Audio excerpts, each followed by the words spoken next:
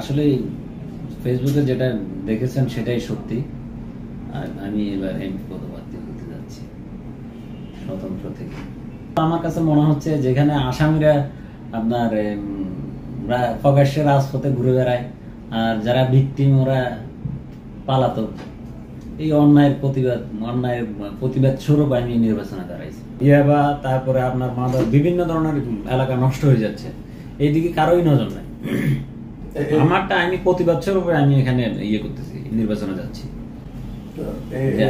দেখা যাচ্ছে যে আমি ব্যবসায়িক প্ল্যাটফর্ম থেকে আমি এটা করতে পারতেছি না। যদি আমি প্রতিনিধি হই তাহলে এটা আমি সহজ ইজিলি ভাবে করতে পারব। আসলে আমি যেহেতু কোনো দল করি না কোনো দলের সাথে আমি জড়িত নাই যার জন্য আমি নিজে স্বতন্ত্র করার অধিকার তো যেহেতু গণতান্ত্রিক দেশে আমার বসবাস আমার বাংলাদেশের নামে গণপ্রজাতন্ত্রী বাংলাদেশ সরকার।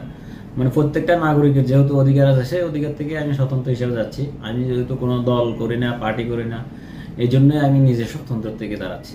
আমি মাঠ ছাড়বো না। ভোটারদের কাছে কাছে আমি যাইতে পারব, কিন্তু শক্তি, ফেসি শক্তির সাথে হয়তো পেরে উঠবো না। জোর করে যদি নিয়ে যায় তাইলে তো আমার আর কিছু করার থাকবে না। মোটামুটি আমার দিক থেকে, সব দিক থেকে অলরেডি কথাবার্তা বলে আমি চিন্তা করেই ভেবে চিন্তেই নেমেছি। আমাদের এলাকায় আমি যেখানে বড় হয়েছি এটাতে প্রায় তিরিশ, বিশ, ত্রিশ হাজার লোক হবে। এখানে যেমন রিজার্ভ ফরেস্ট। রিজার্ভ ফরেস্টে সবকিছু আছে, কিন্তু মানুষজনকে হয়রানি বন্ধ হচ্ছে না। দক্ষিণে সব হইল নেতা, বড় বড় নেতা। উত্তরে সব হইল কর্মী।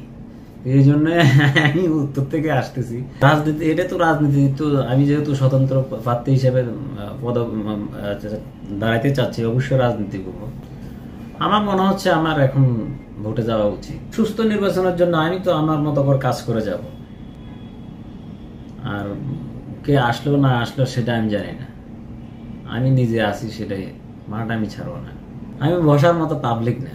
আমি নিজের ইচ্ছায় মাঠে নেমেছি স্বেচ্ছায় কেউ আমাকে রিকোয়েস্টও করে নাই কেউ আমাকে অনুরোধও করে নাই।